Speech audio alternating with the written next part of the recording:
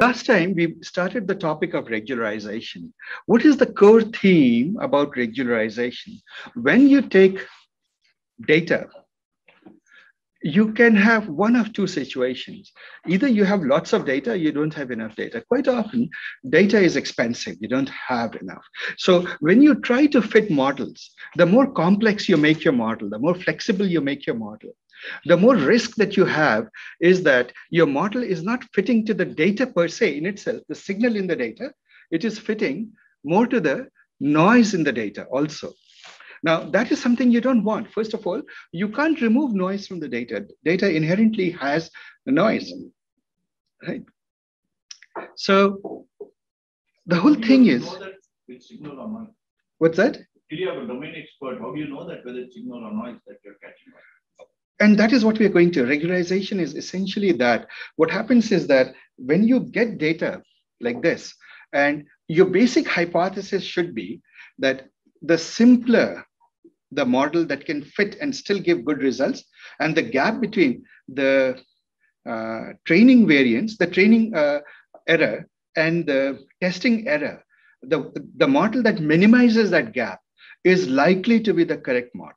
You just go with the hypothesis. See, in this field, you can never prove that you are right. All you can prove is you're wrong. Right. right? So all you can see is that this is likely to be the effective model. And we define the effective model as that model in which the gap between the training errors and the test errors is very small, right? If the gap is too large, it means that you have overfitting errors. So that's the way you do it in this field, right? So, uh, all right. So we will, so anyway, just to recap, when you have data, there's always a risk of overfitting, listening to the noise rather than the signal in the data.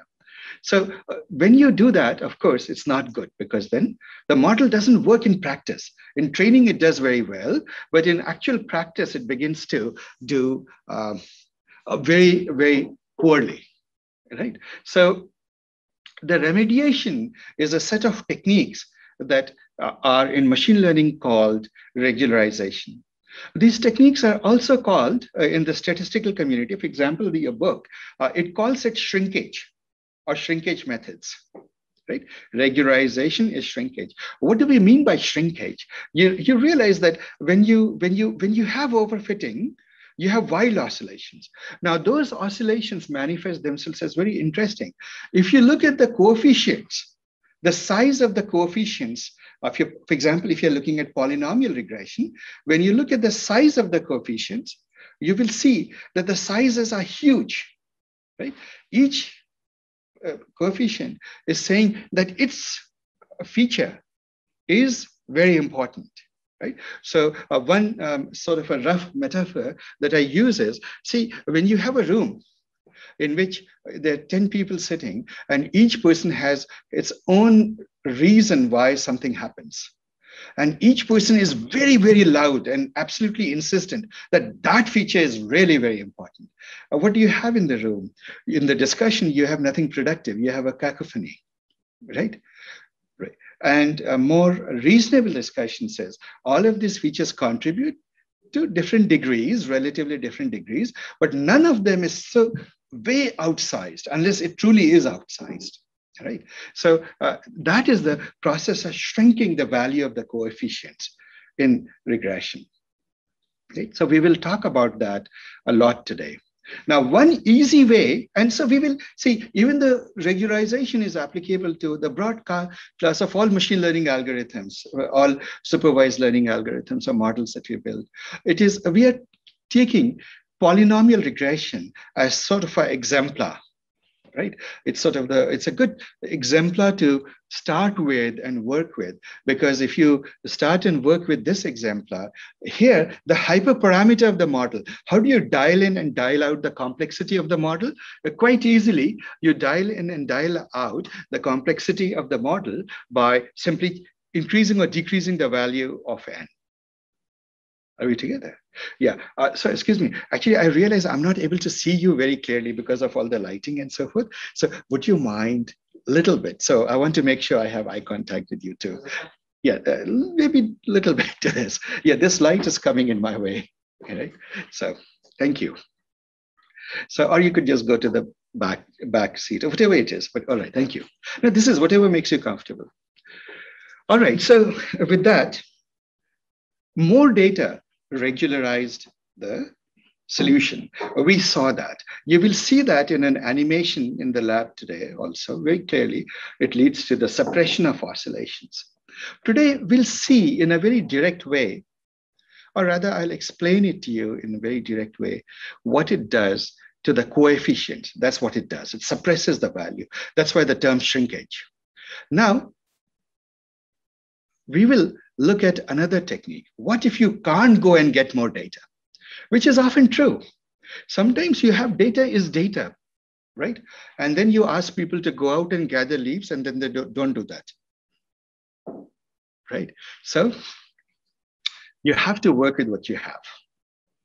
Then what techniques can? It turns out that all is not lost, and there are some very good, powerful mathematical techniques that you can use to still regularize. Uh, two, of, uh, two of them that we'll talk about, which are the great classics in this field and very, very powerful.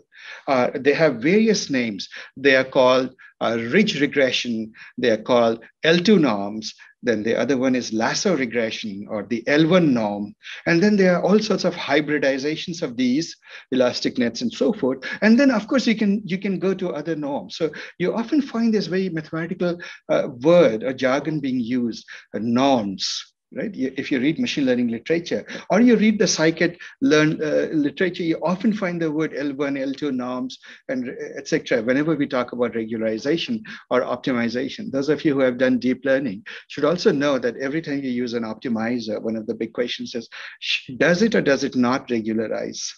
Right? So what are these that we are uh, trying to do with this? Right? Uh, we will learn about that. So uh, we stopped here. Let me go to the end. So question answer.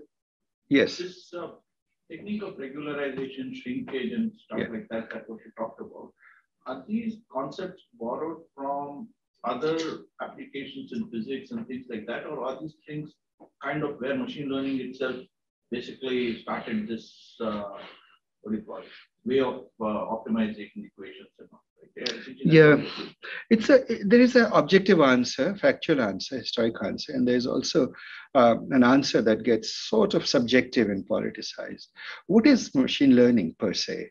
If you ask a statistician, he'll tell you. In fact, the authors of your book, Tibshirani and Hastie, they'll tell you that machine learning is nothing but statistics wearing a marketing hat. Yeah. If you ask a machine, computer science person, they will tell you that machine learning started with the invention like 1950s. Right? If you ask a theoretical physicist, he will assure you that all of these concepts were done way, way before. It was done by mathematical physicists, right? Like Gauss, Legendre, and all of the legendary people, right? And so a lot of the key ideas were there. Uh, this field has gone through, like, it depends upon which lens you look at it from, and you'll get different answers. I happen to be in an unusual situation. As you know, I'm a computer engineer, computer scientist. Right? At the same time, I have doctoral work in theoretical physics, right? Mathematical physics. So when I look at it as a lens, I feel that all knowledge is a collaborative tradition different traditions contribute. They all move the needle forward. I would argue that this field started with theoretical physicists like the Gauss and the, uh, all these great mathematical physicists who made rapid progress. So regularization was already well known at the time. Then came then for a while, the, if you look at the history of theoretical physics, they got very fascinated with uh, relativity and quantum field theories and quantum mechanics. And they sort of, in a way, they ignored the, the whole the data analysis aspect of it, they had enough to do deal with it.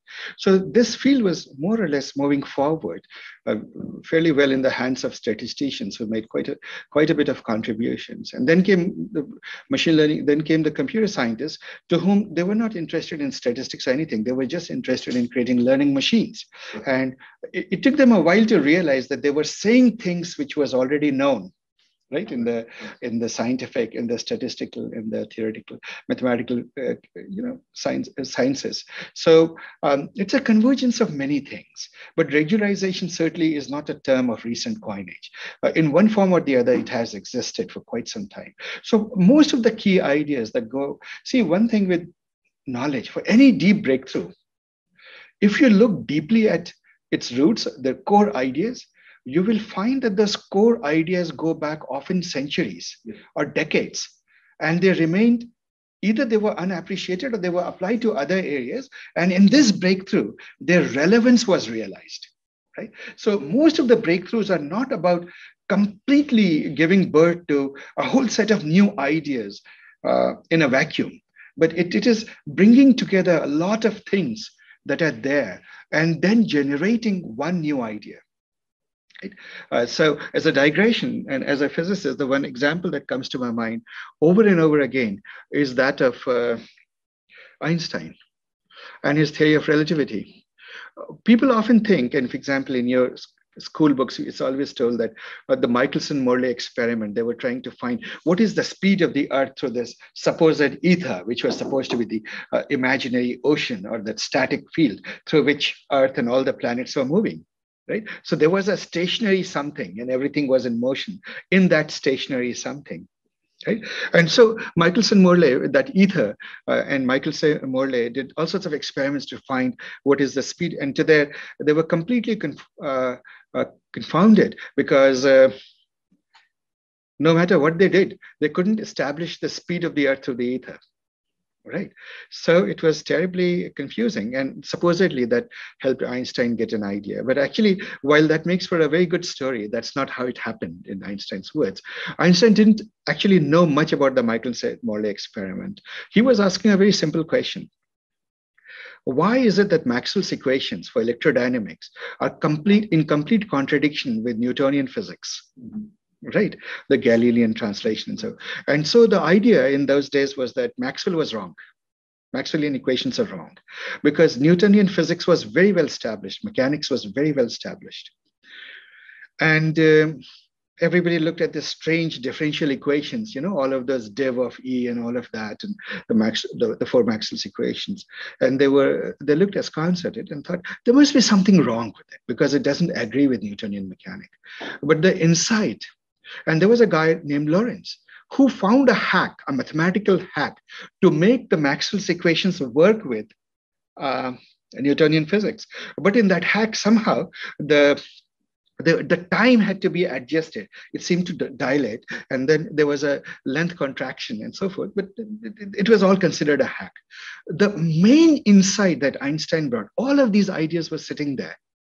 The main insight that Einstein brought is he did one simple thought experiment in his mind and he made that hack into a reality. Mm-hmm. He hmm. said it's not a hack. And this is the interpretation of those Lorentz, mm-hmm. you know, in, uh, Lorentz equations right, of time dilation and uh, length contraction and so forth. He gave an explanation for it, and therefore he merged space and time into a, a combination. And a consequence of that is a profound statement. It says that the same thing that to you looks as electric field, to you may look like a magnetic field. An example is that suppose there is a charge sitting there. If it is sitting stationary with respect to you, you see it as a electric charge, right? You feel a sense of attraction or repulsion based on what you hold in your hand what charge you hold in your hand. Uh, on the other hand, if you're passing in a train, now the charge is moving. A moving charge is current. A current generates magnetic field around it. And so the person going in a train does not just see electric field, he sees an electric and a magnetic field. Now, these are very real things.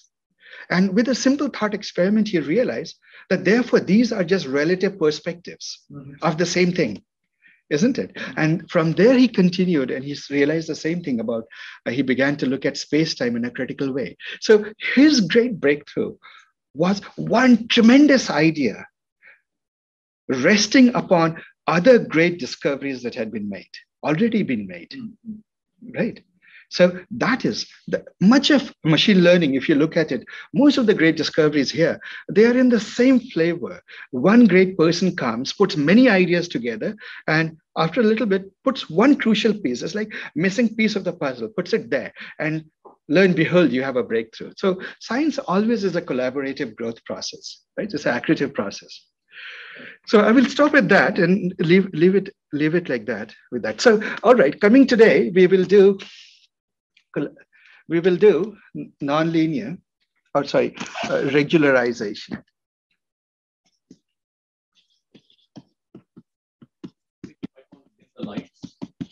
Yes, let me do that. I actually have.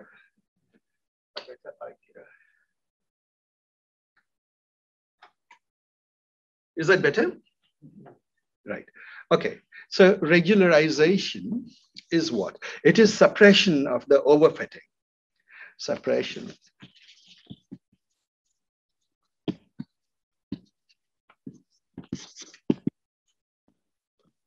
Suppression of overfitting in some sense. So we will look at polynomial regression. And uh, I will mention something which in the lab, when you look at the values, it becomes clear. So there is a there's an interesting phenomenon.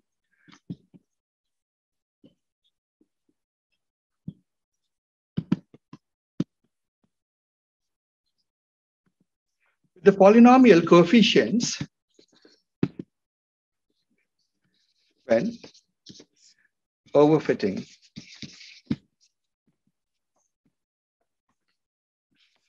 happens when overfitting happens.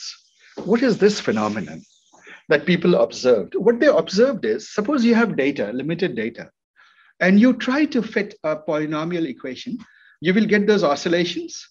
But those, when you, that is visually, what it also will do is, suppose you have written your equation like this, y hat is equal to beta naught plus beta 1 x plus beta 2 x squared. And, and, I'm just taking univariate, but the, it generalizes to higher dimension, to higher, uh, to multivariate uh, results also. Beta 10 x 10. Let's say we take a 10 degree polynomial. When you try to fit to data and there is overfitting, what you will notice is that the size of the coefficient, size of the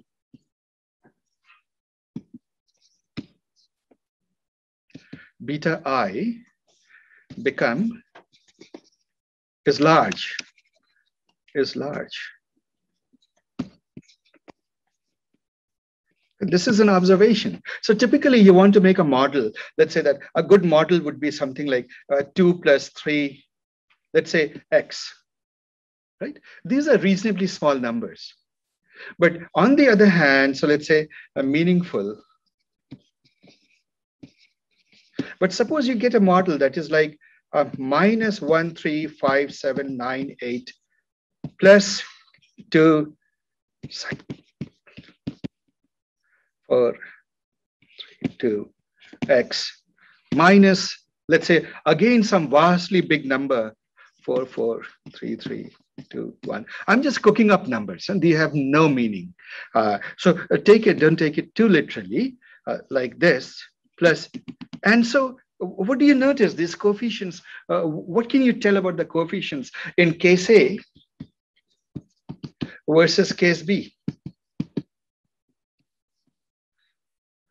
The coefficients are large. Do you see that?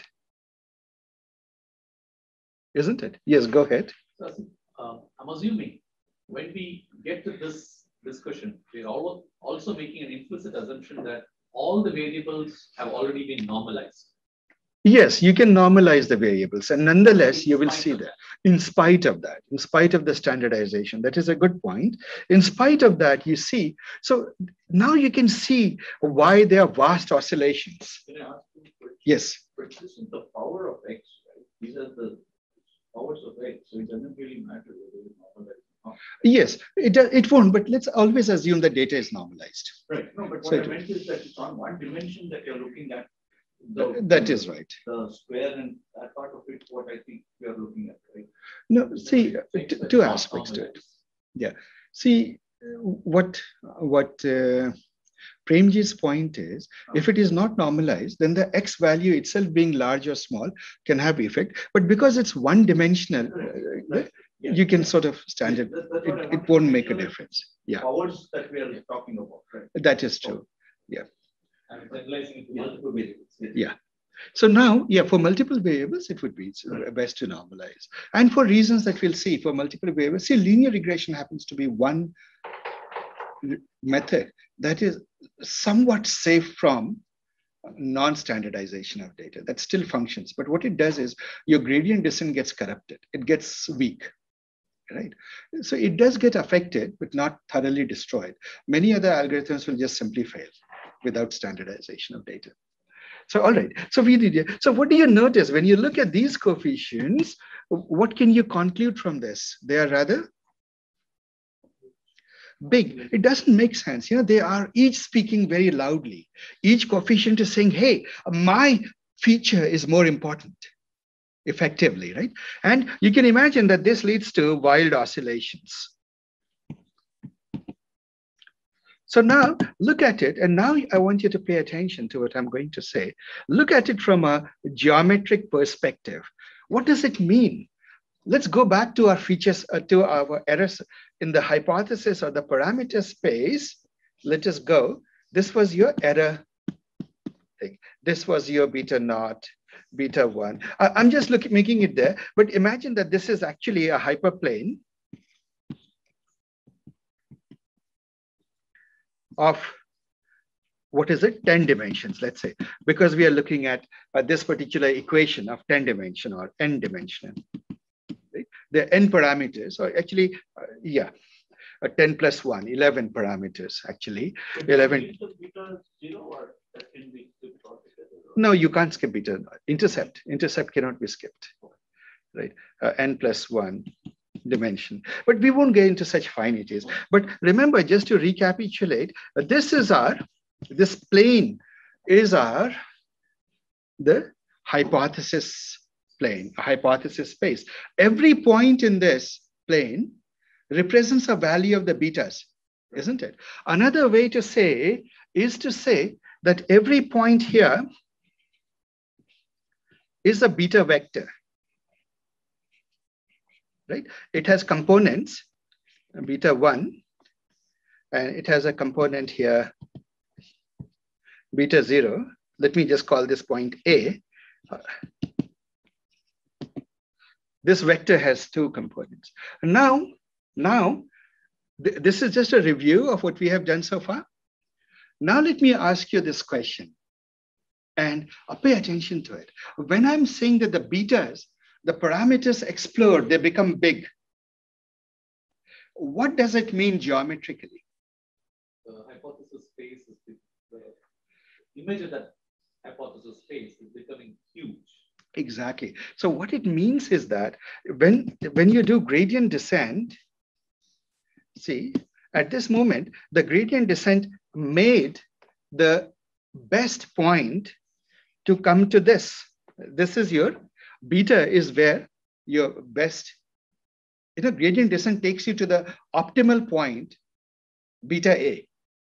But if the co what it learns, the coefficient is large, what it means is your optimal point. Actually, let me use a more conventional uh, terminology that people use in this. Let me call it beta star, huh? because that's what people often use, beta star. Beta star for our optimal value, right? A beta star one, beta star. So your optimal value from gradient descent, right, will become very far from the origin, isn't it? When the components are large, it means the value is far from the origin, somewhere in this plane. It's not close to the origin. And therefore, you get your first geometric insight. Aha, this is, it has run away. The more you add terms, the more higher degree of polynomial you do, the more you see that your bowl of the error surface bowl, it begins to run away from the origin, isn't it? The the parameter space begins to get bigger, but it also runs away from the origin, right? So that is a crucial problem. That's a crucial insight. So what can we do? The solution to that is you say, hey, you know what? And uh, we won't run away. We know that the moment it runs away from the origin, it's a disaster, right? The solutions we get are not. But is the converse true? Suppose we do, we put a constraint. We say you cannot go more than some distance, let's call that distance d from the origin. So you make a circle around or a sphere around the origin. It's a circle in two dimensions, but it's a hypercircular uh, sphere in n dimensions in the parameter space. You can't go more than that away from the origin, right? So let me uh, draw this a little bit. You say that, so this same figure, if you look at it, I'll just render it without the error function rising about it. Let's say this is beta naught, beta one. And obviously, when I say beta naught, beta 1, in two dimensions, it looks like that, but it is actually a 10 dimensional surface or 10 dimensional plane or 11 dimensional plane or whatever it is that you think about it. You say you cannot go more than a certain distance, d, from the origin. So that makes a circle. You're limited to a circle around the origin. And you're basically saying, what is the best values of the parameter betas that I can find within this space. Are we two? Now at each point, you know that there is a error value. There's a net uh, error of the hypothesis. So this thing we ask, this is, we call this a constraint. In the language that people use, this is constraint. It's a constraint that you put. Now, what's the equation of the circle? Right? Let me write this constraint as constraint g beta vector is equal to, well, beta naught square plus beta 1 square. Equal to d square. Yeah, is equal to d square, right? So d is constant. Right. Now, the same thing, and I'll develop this terminology, make it more familiar. Would you say that this is basically a beta vector a dot beta vector, right, is equal to some constant, d squared, d squared, some constant. So the moment you write your, this is a constraint equation.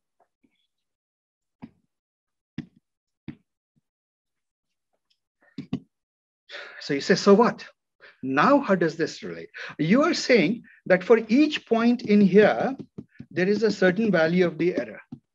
Now, let's look at the contours of that, uh, the figure above, this figure, let us draw the contours. If you draw the contour surfaces, remember that um, I draw this contour surface. So uh, this surface will come and fall here. Do you see? The next one comes and meets. I'm just looking at the projection of this equi-error surfaces, you know?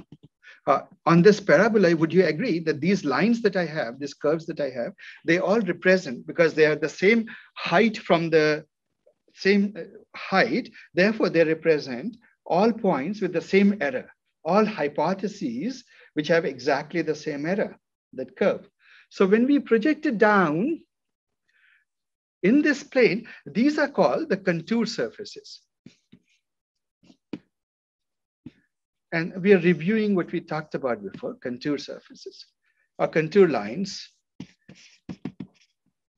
Contour lines, isn't it? These are contour lines or contour curves, so call you whatever it is, but visually it is this. Now what we are saying is that, so you see that every line, the, the, the more you go out from the optimal center, the more the error isn't it?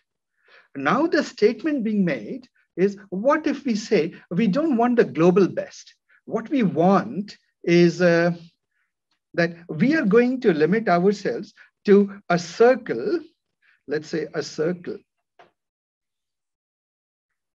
Well, my circle doesn't quite look uh, that much. It's a circle. And you're saying, uh, find me a solution within the circle. Now, let's look at this projected down, what it means when I project it to the two-dimensional plane. So um, I suppose that circle, let me draw it with red line because I drew it with that line there. Let me go here. Oh, sorry. Is that circular enough? Well, this is the quality of my art. We can't help it. Right? So now look at this thing. We have, uh, well, since I used up this space, I'll pretend it's on this side, huh?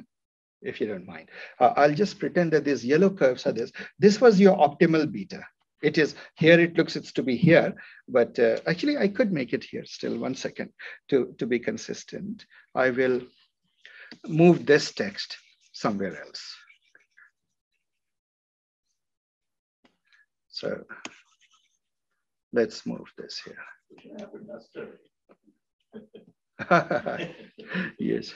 So this is the same as G beta is equal to beta dot beta constant. So now let's look at the yellow lines.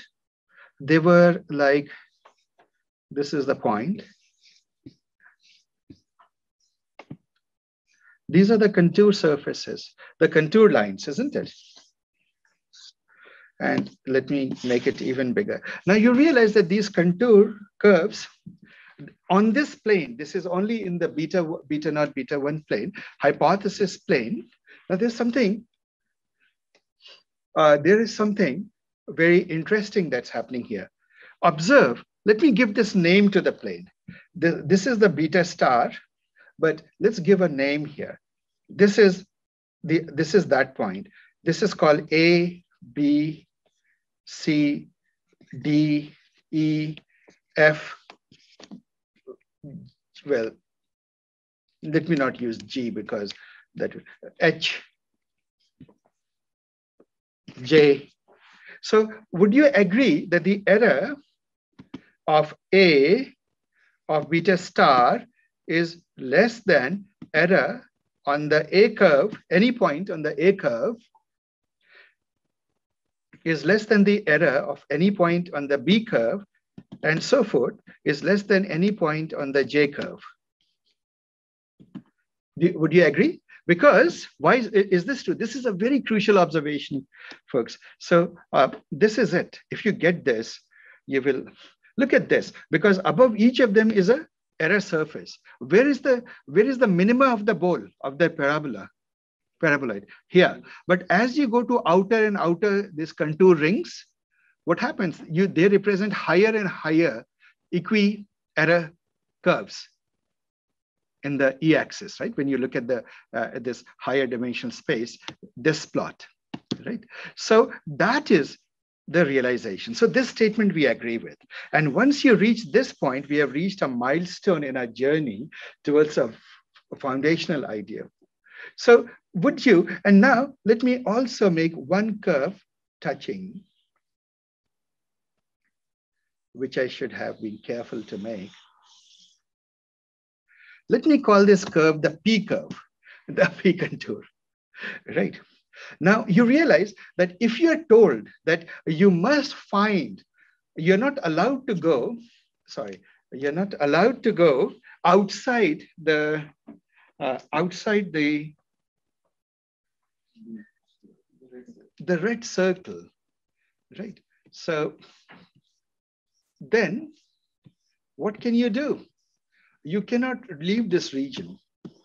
This is your region. So it reminds me of a story in the, from the uh, Indian uh, Mahabharata, so uh, not Mahabharata, Ramayana. So obviously all of you probably know that story, but I'll just repeat it. There is a story that a king, there's a god king, Ram, and then there's Lakshman and Sita. And uh, for a whole variety of complex reasons, uh, they're exiled and they live in the forest.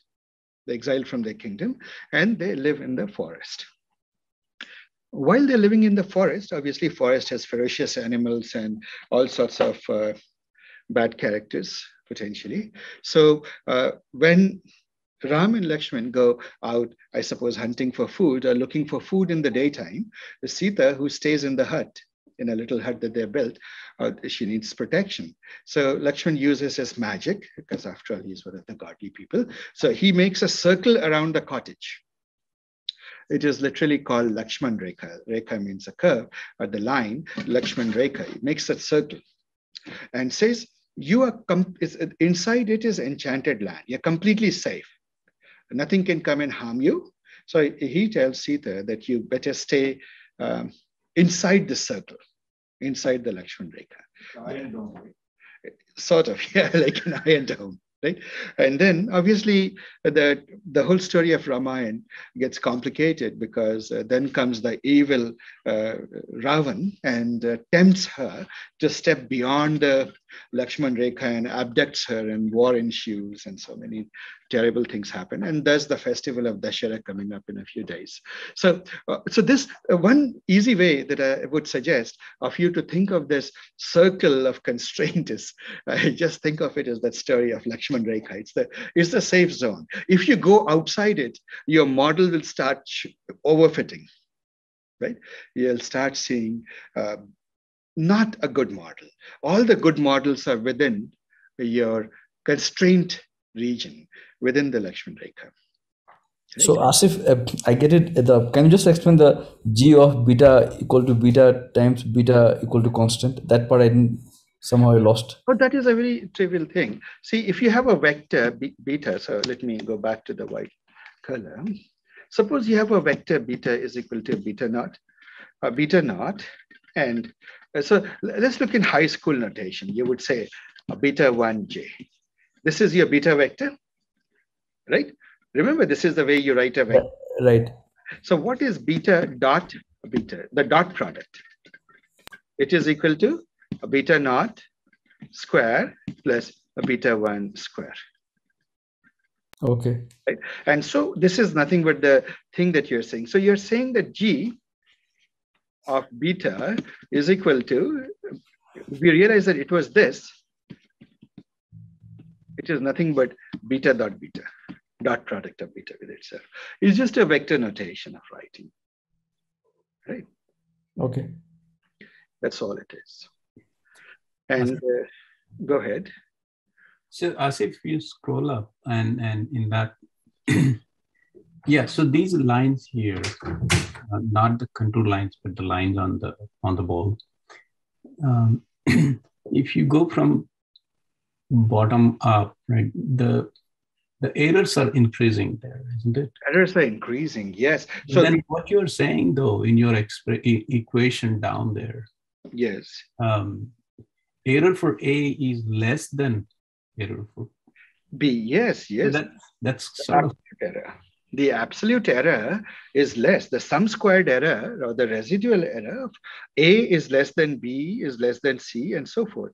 But we are also saying that while that is true, while the residual errors are true, uh, we are not allowed to leave the leave your safety region, you know, the constraint region, the circle.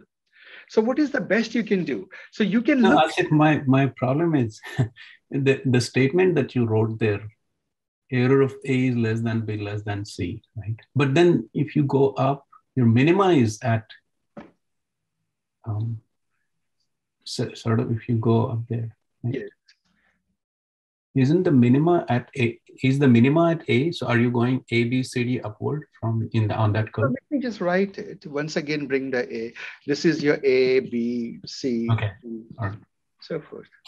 Right? Okay. So you agree that the error is least right? The, the error is least, the height is of these points is much less than in the parabola, all of these things. You literally see these bands, right? So this could be, uh, let's say, this could be A, this is B, this is C, D, rather error of D, error of C, error of B, error of A, isn't it? You see the relationship now, right? Sanjay, is that clear? Yeah, yeah. So that is all we are saying, right? And I had a quick question. Yes. Um, so going back to the the diagram at the bottom, um, when are we looking for the curve that just touches the circle, or if that goes like like is there like an optimal curve inside the circle that we have to find? Yes, that is the question. So think about it this way. If if you pick this curve, if you are here, look at look at where my mouse. Are you able to see where my mouse is? Yeah, yeah. Make a blue dot. Right? If you're here, you are touching the curve J. You know that the error is high. So what are you tempted to do? You'll go to this curve, this location perhaps, right? Here, the error is less. This is H. edge contour surface is less. So you'll be tempted to go here, right? Which is even less, error here is even less. And finally, you will go to this point.